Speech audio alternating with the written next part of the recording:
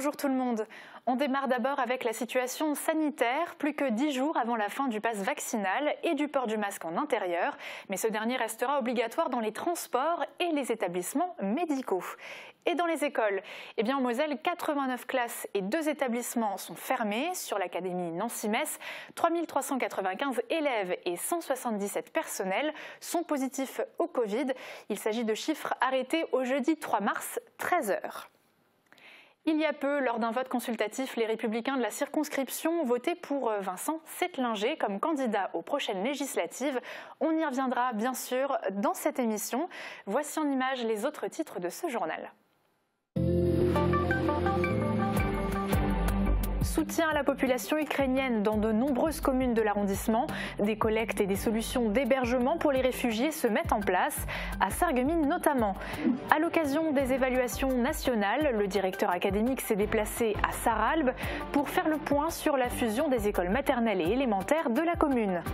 Au lycée Tessier de Beach, place à la salsa, de quoi découvrir la culture cubaine autrement, mais aussi décompressée. Le théâtre du jeudi, quant à lui, peut enfin jouer sa pièce de théâtre Tous des femmes ce vendredi 4 mars sur la scène du Casino des Faïenceries de Sarreguemines. En première partie, ce sont les enfants de l'IME qui interpréteront également une pièce. Et à Beach, la galerie d'art accueille Muriel Hans pour des tableaux abstraits et colorés. L'exposition intitulée Errance sera visible jusqu'au 30 avril. Retrouvez également dans cette émission notre format basé sur nos images d'archives. Retour en 2007 au cœur du site archéologique de Bliesbrück-Rheinheim. À cette époque, la structure transfrontalière accueillait un nouvel espace d'exposition sur Pompéi. Un grand voyage et une visite guidée à découvrir dans quelques minutes. Et de son côté, la ville de Sarreguemines se mobilise en soutien au peuple ukrainien, déjà par un acte symbolique. Un rassemblement est prévu ce samedi 5 mars dès 14h, place de la République. Mais des actions plus concrètes sont également lancées. Elles ont été présentées hier en début d'après-midi à la presse. On fait le point dans ce reportage.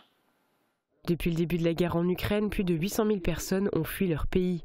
Ils se retrouvent à la rue et Sarreguemines veut leur venir en aide. En partenariat avec les forces vives du territoire, la municipalité va proposer prochainement des offres d'hébergement. Nous avons euh, eu des contacts avec des maires qui ont des parrainages avec euh, des communes ou des villes dans ce secteur-là qui, eux, très vite avaient des interlocuteurs pour réagir et ça c'est prévu et c'est très bien comme ça. Mais pour les foyers sargueminois et aux alentours qui souhaitent offrir l'hospitalité auprès des victimes de la guerre, vous pouvez prendre contact à cette adresse mail. Et la municipalité se concentre également sur des collectes de dons à l'intention du peuple ukrainien. La collecte sera, euh, sera assez cadrée par euh, l'identification des besoins qui est faite et ce sera réorienté spécifiquement sur les, réfugiés, euh, les réfugiés du conflit. Donc on va être plutôt sur des produits effectivement d'hygiène. Des médicaments, des denrées de nourriture non périssables, des vêtements ou du matériel médical. Vous pourrez venir dès lundi 7 mars à 10h pour déposer vos dons en salle numéro 5 à la mairie de Sarreguemines. Le point de collecte sera ouvert en non-stop de 10h à 18h en continu du 7 au 11 mars inclus. Les fournitures seront par la suite acheminées jusqu'en Ukraine. Une aide financière est également en réflexion au sein de la municipalité. Mais la ville de Sarreguemines n'est pas la seule. De nombreuses communes de l'arrondissement se mobilisent. D'ailleurs, euh, si vous voulez aider, adressez-vous en priorité à votre municipalité ou alors euh, auprès d'associations solidaires. Il n'y a pas encore de coopération transfrontalière euh, à ce sujet, mais des discussions sont en cours. Il y a un an avait lieu la fusion des écoles élémentaires et maternelles de Saralbe. Depuis est né le groupe scolaire Robert Schumann avec près de 350 élèves. Cette semaine, à l'occasion des évaluations nationales et parce qu'il en avait fait la promesse, le directeur académique s'est déplacé dans la commune pour dresser un bilan de cette fusion. Retour en images. Sur la table des écoliers saralbigeois, les exercices d'évaluation nationale. Il y a des exercices, c'est très facile pour moi parce que je m'entraîne un peu à la maison. Lecture, rapidité, compréhension de texte. En septembre dernier, des premiers examens avaient déjà été réalisés. Même s'il y a eu le Covid et donc beaucoup d'absents, on va quand même pouvoir voir s'il y a une évolution depuis septembre et qu'est-ce qu'on peut améliorer. Il n'y a pas que les performances des élèves qui sont scrutées. Le groupement scolaire Robert Schumann l'est aussi.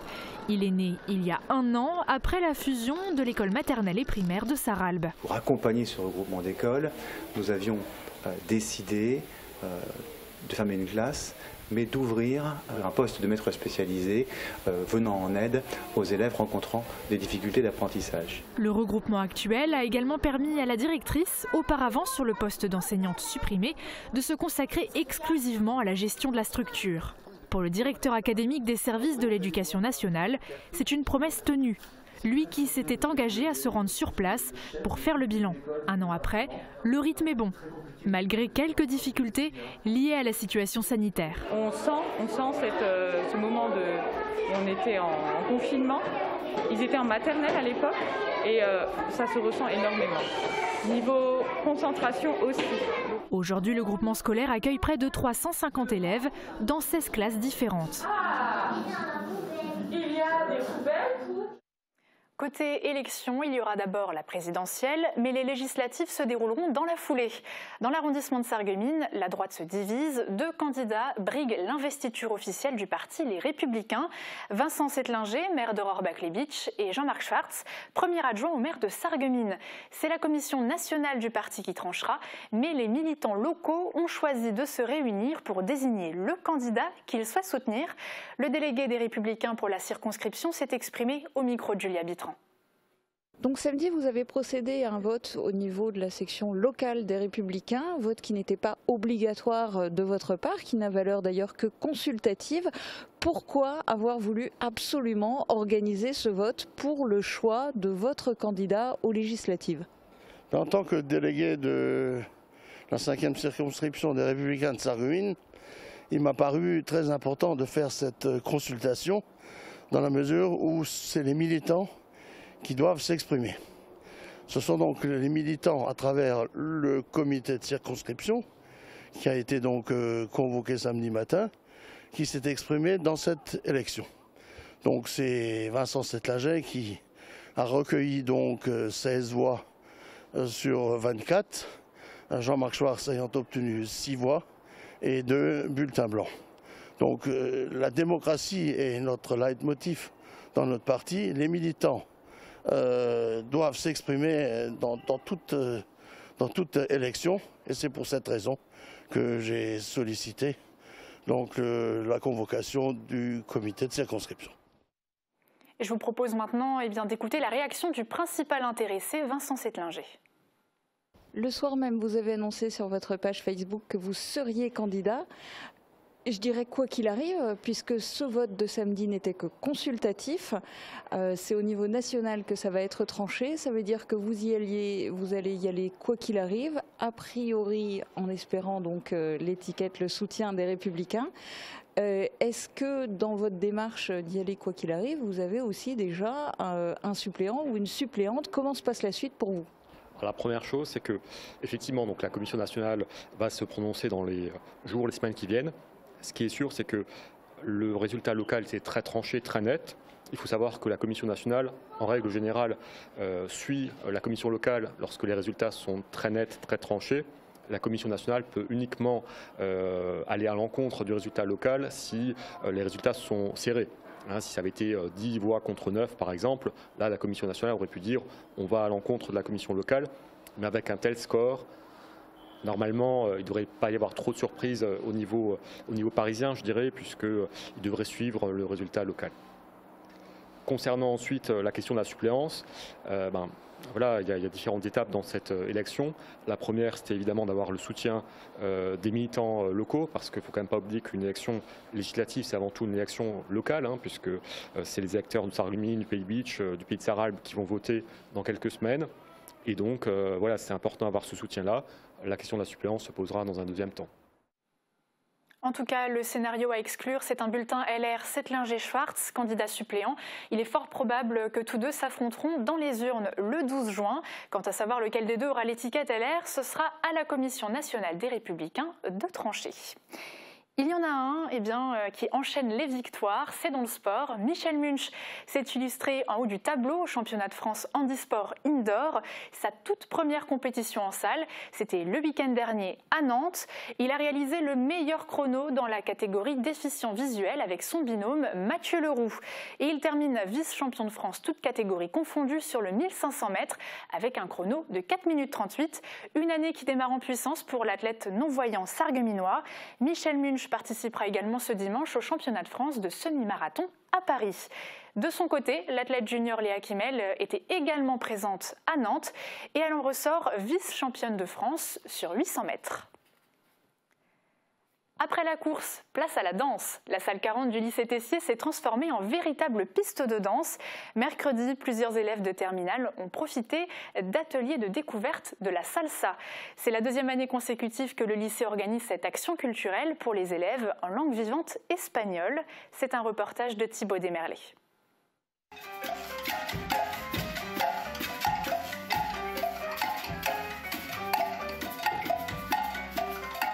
Apprendre la culture cubaine au rythme de sa musique. Une trentaine d'élèves en langue vivante espagnole du lycée Tessier se sont initiés à la danse salsa. L'atelier était animé par la professeure de danse afro-cubaine Anne-Sophie Tiburn et des membres des groupes Inc. et Mura Perigna. Bah, ça leur permet justement de sortir un petit peu de la classe et de vivre la matière d'une autre manière, de la vivre euh, avec leur corps et euh, d'appréhender donc euh, la matière à travers sa culture. En plus de l'aspect pédagogique, cette action culturelle permet aux élèves de souffler un peu et de marquer une pause dans leur vie quotidienne au lycée. C'est super intéressant qu'on puisse avoir une petite, une petite excursion autre part qu'en cours, mais tout en étant au lycée. Ça fait peur, non, c'est stressant un peu. Mais en même temps, c'est bien parce que du coup, on découvre des pas de danse qu'on connaissait pas, une façon de danser qu'on ne connaît pas parce que c'est pas ici. Mais il n'y a pas que les pas de base de la salsa, les lycéens ont aussi joué des percussions typiques de la musique cubaine, accompagnées par les musiciens.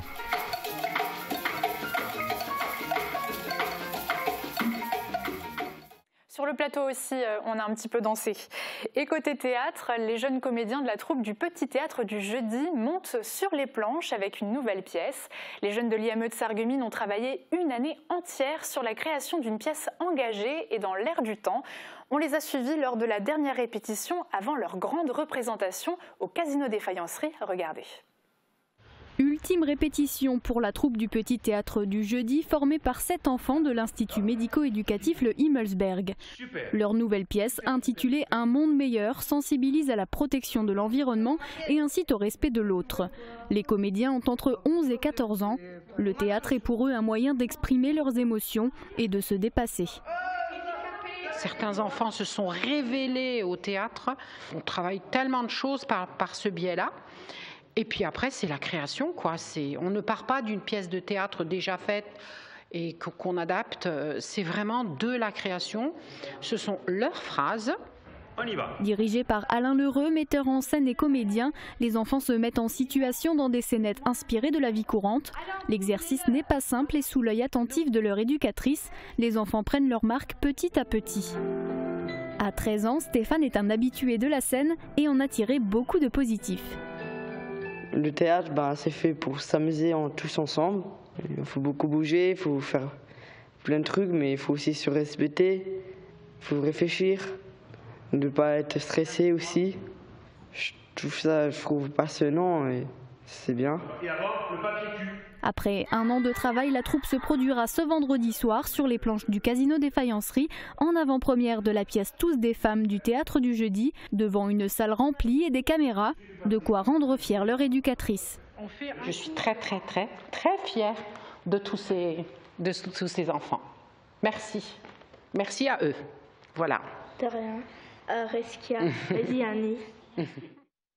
Une pièce qui sera donc à découvrir ce vendredi 4 mars sur la scène du casino à Sarreguemines, suivie de la nouvelle pièce des adultes du théâtre du jeudi. Leur persévérance a fini par payer. Après deux reports en avril 2020 et en novembre 2021, les comédiens peuvent enfin présenter leur nouvelle pièce au public sargueminois. Tous des femmes, c'est le titre de ce spectacle qui invite à réfléchir sur la place des femmes dans la société, de la création à aujourd'hui. Reportage de Guillaume Dumonteil. Au départ, il y avait des pommes, Adam et Ève. Ne pouvant résister à la tentation, ils ont goûté aux fruits défendus et Dieu les a chassés du Jardin d'Éden. Commence alors, pour l'homme et la femme, une série de difficultés. Difficultés pour s'accepter, mais également pour s'épanouir l'un l'autre. La coexistence n'est pas toujours facile entre les hommes et les femmes dans la vie professionnelle comme dans la vie privée. Les membres de la troupe du théâtre du jeudi illustrent ce combat passé, présent et à venir à travers une trentaine de tableaux qui évoluent dans plusieurs registres comiques, poétiques, satiriques ou dramatiques.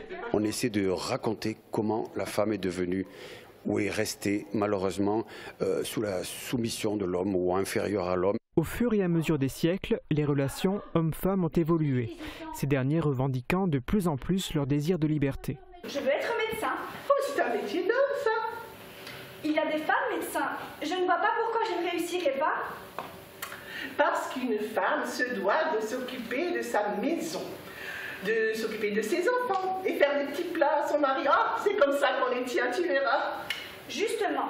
Justement quoi Je ne veux pas être au service de l'homme, je veux être son égal, pouvoir travailler comme lui. Mais qu'est-ce que c'est que ces histoires? Les temps ont changé, les mœurs aussi, et aujourd'hui tous les métiers sont accessibles aux femmes, dans notre pays en tout cas. Mais pourtant, la femme n'est pas encore l'égale de l'homme. Comment améliorer cet état de fait? Les membres de la troupe du théâtre du jeudi ont peut-être trouvé la solution. De l'art toujours avec une nouvelle exposition temporaire qui vient de s'installer en plein centre-ville de Beach.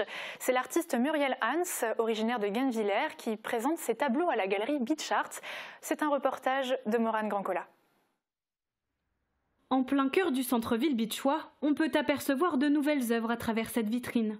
C'est l'artiste Muriel Hans qui vient d'installer une quinzaine de ses peintures grand format sur les murs de la galerie Beach et Art. Alors, j'ai une peinture qui est abstraite mais un petit peu figurative, je vais dire. Hein. Euh, donc, euh, en général, euh, ma peinture, je ne sais jamais au départ ce que je fais. Je ne sais pas. C'est-à-dire je mets la peinture, je cherche les couleurs d'abord très bien, parce que à la limite je dirais que je suis pas tellement une peintre, je suis plutôt une coloriste, je, me définirais plutôt comme ça. Et j'étale donc cette peinture, je travaille, je travaille jusqu'à ce que je trouve la bonne couleur. Et ensuite je mets de la matière. Et puis après, tout doucement, ça, me parle. L'exposition intitulée Errance sera visible jusqu'au 30 avril prochain, durant les horaires d'ouverture de la galerie du mercredi au samedi. Notez que l'artiste sera présente les mercredis et jeudis jusqu'à la fin de l'exposition. Et pour les amateurs d'art, la Galerie de Beach proposera prochainement des conférences en présence des artistes, et ce, une fois tous les deux mois, pour découvrir et échanger euh, autour des œuvres exposées. Et de nouvelles animations verront aussi le jour, mais cette fois-ci pour les plus petits. Côté ciel, le soleil réchauffera-t-il notre week-end? On regarde les prévisions météo et puis pour la suite du programme, direction le site archéologique Bliesbrück-Rheinheim, mais en 2007. A tout de suite. Couverture et zinguerie, une toiture Moder Habitat apporte sécurité, protection et pérennité par tous les temps. Retrouvez votre programme avec le Crédit Mutuel, partenaire des grands événements de votre région. Une banque qui appartient à ses clients, ça change tout. Bonjour tout le monde, ces derniers jours côté météo, on n'a pas à se plaindre et en plus, le beau temps se poursuit. Demain encore, on va pouvoir passer une belle journée bien ensoleillée, sans aucun nuage pour nous contrarier. Du côté des températures en revanche, on n'oublie pas qu'on est encore en hiver, avec les minimales qui iront de moins 3 à moins 4 degrés et les maximales de 7 à 9 degrés. Demain, nous fêtons les olives et il fera jour de 7h09 à 18h24. Passez tous une très belle journée en notre compagnie et n'oubliez pas de souhaiter une bonne fête à vos grands-mères dimanche. À demain C'était votre programme avec le Crédit Mutuel, partenaire des grands événements de votre région. Une banque qui appartient à ses clients, ça change tout. Attention les doigts là, c'est chaud. Non, attention, pas trop près, tu vas avoir mal aux yeux. Non, c'est pas bien ce que tu fais, ça se mange pas.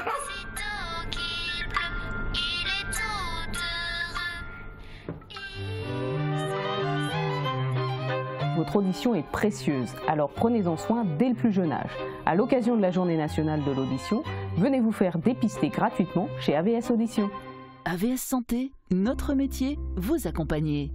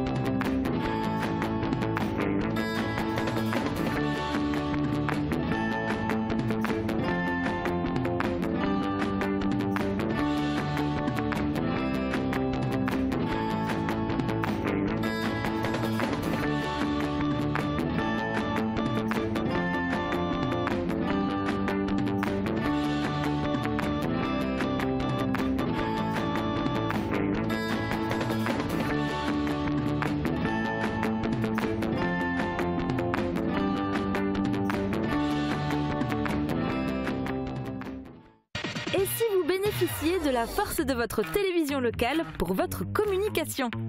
Mosaïque cristal, des publicités sur mesure, un ancrage local fort et une diffusion jusqu'à 32 fois par jour. Diffusez-vous pendant toute une année à partir de 150 euros par mois. Contactez notre service commercial au 06 63 14 36 34.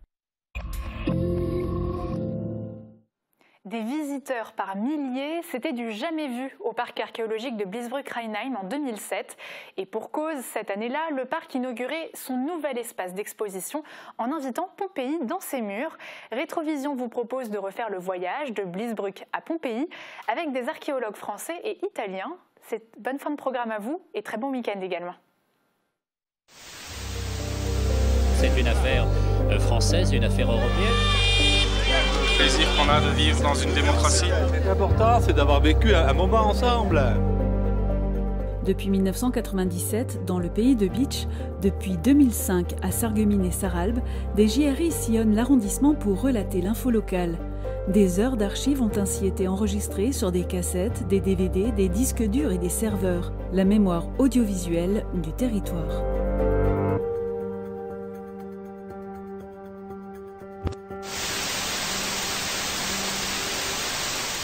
En 2007, le nouvel espace d'exposition du site transfrontalier accueillait Pompéi, l'occasion pour les archéologues et les médias de se rendre au pied du Vésuve.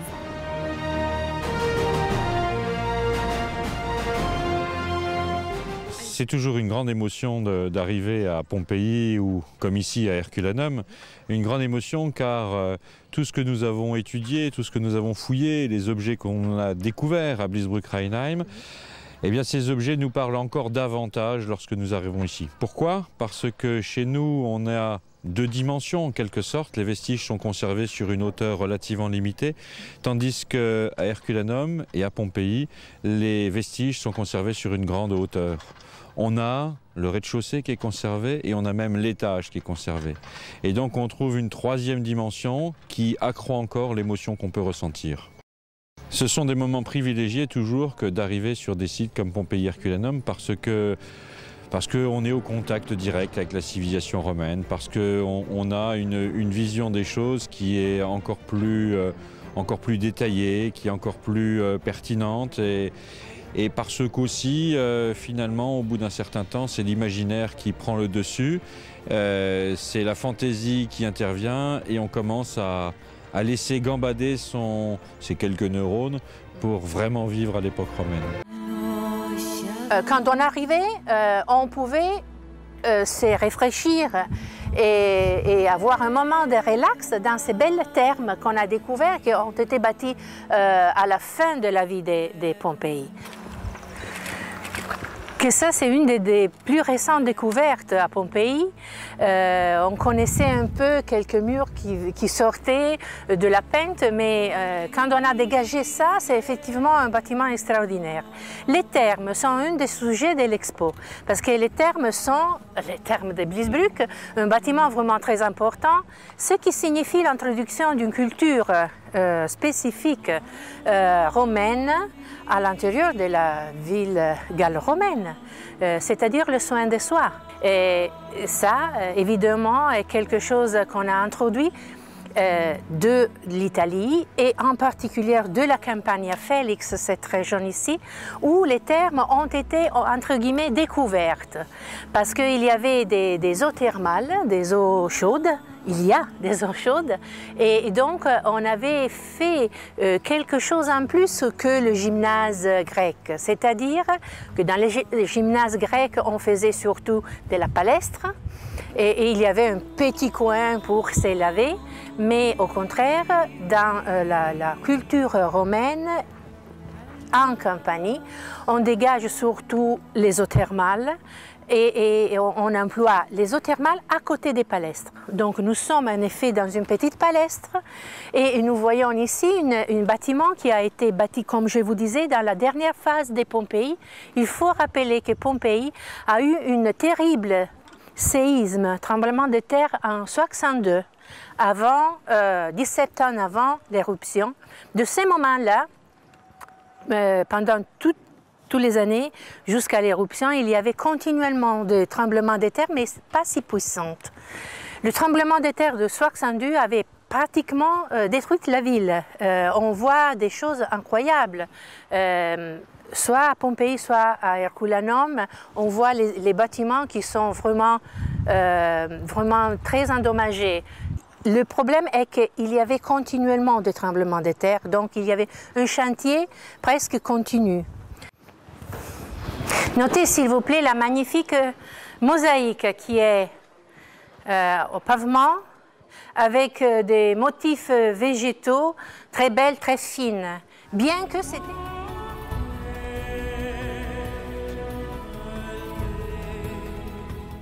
Le fond du péristyle, qui est le vrai cœur de la maison à ce moment-là, est décoré par une série de niches euh, Artémis et Athéon, donc les périlles de la chasse, la douceur de la vie littéraire avec la représentation des ménandres et une inscription qu'on pouvait lire, c'est-à-dire que cet homme avait, avait écrit euh, sa première comédie à 14 ans. Une autre, une autre niche avec euh, le plaisir et la douceur de la vie sacrée dans un bois sacré, une statue euh, ou une prêtresse dans un petit temple. Et ça qui est vraiment curieux, ce sont les ancêtres du patron. Vous voyez ici les moulages en plâtre des statues qui étaient en cire. C'est-à-dire qu'on a gardé l'image des ancêtres les plus importants dans une religion euh, familiale de laquelle vous avez eu une trace dans le magnifique film Les Gladiateurs.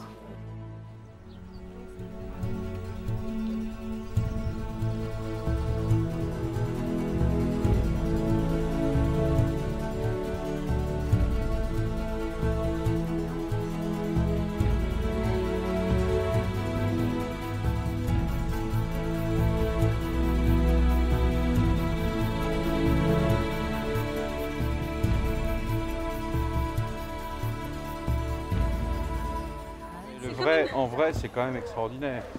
Le fait de voir les vestiges en vrai, ça, change, ça change tout. Là, tu vois la mezzanine qui dessert le toit. Alors évidemment, quand on a des murs, comment imaginer qu'on a euh, un système de, de balcon intérieur qui permet de circuler? On peut pas. L'exposition que nous proposons dans le parc archéologique européen de Bliesbruck-Rheinheim, c'est aller à la rencontre des habitants de notre région et des habitants de Pompéi. Nous utilisons les collections, les objets découverts à Pompéi pour permettre une véritable rencontre avec les hommes et les femmes qui nous ont précédés.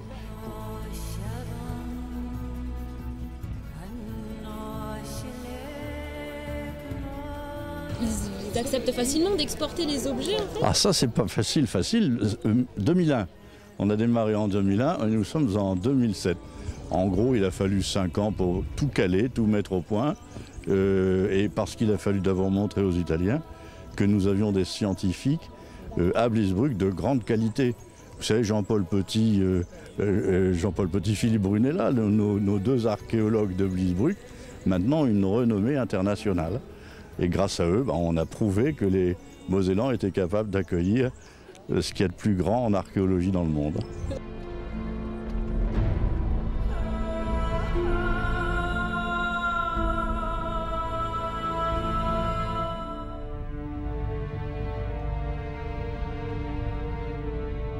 Le Conseil général de la Moselle poursuit le cycle des grandes expositions avec de Pompéi à Bliesbruck-Rheinheim, Vivre en Europe romaine qui démarre le 29 avril.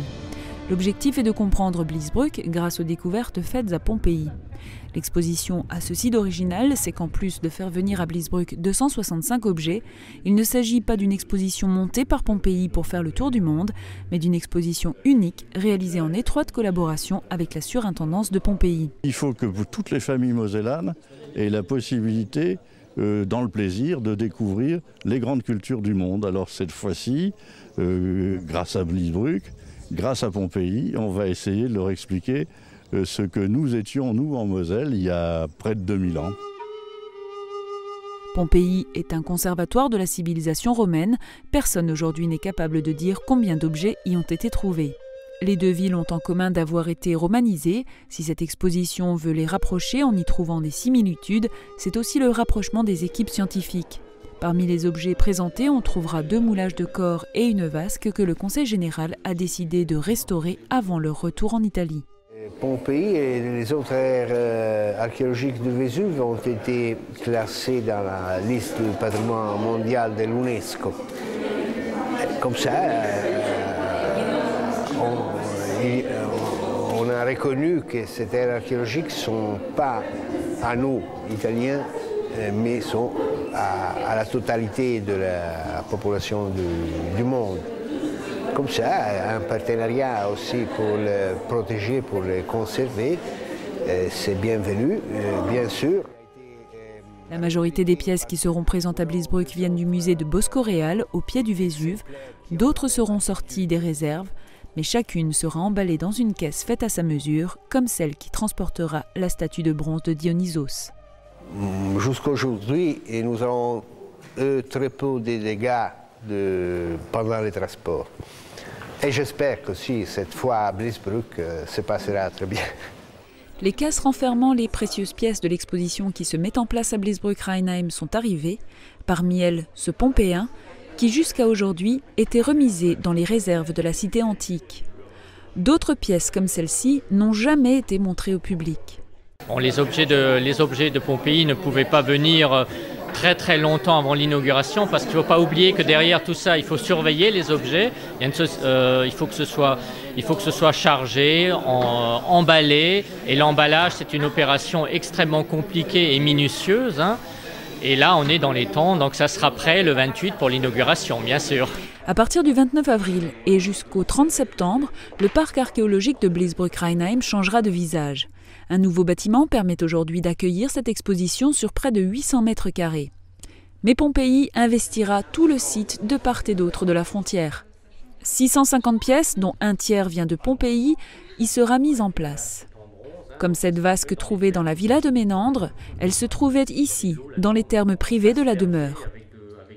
Bah pour le parc, c'est bien sûr une chance tout à fait extraordinaire d'abord de, pouvoir présenter les objets, mais surtout de pouvoir mettre euh, en perspective Pompéi et Blisbruck-Rheinheim. Blisbruck avec Pompéi, c'est pas quelque chose d'évident, hein, mais en même temps, euh, pour nous, c'est quelque chose qui est tout à fait fondé scientifiquement. Hein. Derrière, c'est pas simplement pour faire de la publicité pour Blisbruck-Rheinheim, c'est aussi pour faire mieux connaître le parc archéologique. Mais en même temps, derrière ça, il y a une idée très précise qu'on souhaite partager avec le public, c'est-à-dire montrer le travail des archéologues, ce travail de comparaison qu'ils font, et puis, bien sûr, pour tous les archéologues qui traitent de l'époque romaine, le site euh, de référence, euh, c'est Pompéi. L'intérêt de la muséographie pensée pour cette exposition est de mettre en parallèle les deux villes. Leur point commun est d'avoir été romanisées. Travailler, manger, écrire ou prier, la vie quotidienne d'un citoyen romain est passée au crible. Il ne reste que quelques jours pour tout installer. Le public est attendu dès dimanche. Bienvenue dans l'exposition de Pompéi à Bisbruck-Rheinheim, Vivre en Europe romaine. La visite de l'exposition Pompéi démarre ici dans ce bâtiment à proximité de l'accueil. Une chronologie rappelle les destins des deux villes, Blisbruck d'une part et la tragédie pompéenne d'autre part. De salle en salle, les objets retrouvés par les archéologues sont installés face à face ou ensemble afin de mieux comprendre le mode de vie des citoyens romains. Des rives de la Blise à la baie de Naples, la culture était la même, avec quelques différences parfois puisqu'il existait des cultes locaux, mais aussi une alimentation ou une tenue vestimentaire adaptée au climat. Certaines pièces sont pour la première fois exposées au public. Le surintendant de Pompéi a été l'un des premiers visiteurs de l'exposition, sur laquelle il travaille depuis cinq ans avec l'ensemble du comité scientifique. Non, je crois que c'est une exposition facile à comprendre parce que tous les objets ont des bonnes explications. L'aménagement général, c'est facile à comprendre entre les différentes catégories de vie anciennes. Bon, j'espère que ça marchera. Euh, pour moi, c'est bien réussi, mais il faut toujours attendre la réaction du public des visiteurs. L'essentiel de l'exposition se trouve dans ce nouveau bâtiment, le CREX, mais la visite se poursuit à travers tout le parc. Une boucle ville qui nous conduit jusqu'au terme est ponctuée d'informations. L'ancien accueil côté français abrite la thématique des bains, l'eau, les soins du corps et la parure. Une seconde boucle côté allemand propose de découvrir des reconstitutions de bâtiments. Un cas particulier parce que on cherche de retrouver des parallèles et de les expliquer au public entre deux villes qui sont bien loin entre elles, mais qui offrent beaucoup d'aspects euh, semblables. L'exposition est visible tous les jours de 10h à 18h jusqu'au 30 septembre prochain. Et si vous êtes observateur, elle vous réserve de petites surprises comme celle-ci.